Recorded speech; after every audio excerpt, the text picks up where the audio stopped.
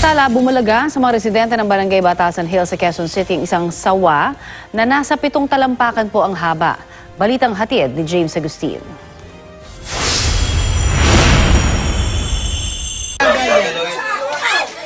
Pinagkaguluhan ng mga residente ng Barangay Batasan Hills, Quezon City ang isang sawa na natagpuan sa kanilang lugar kaninang pasado alas 3 sa madaling araw.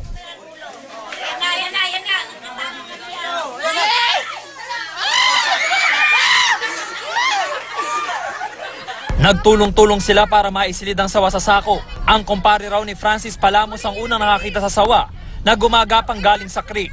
Nung sumigaw na po siya na may ahas, bumaba na po agad ako. Pagkakita ko po talagang malaki. Nataranta na kaagad kami.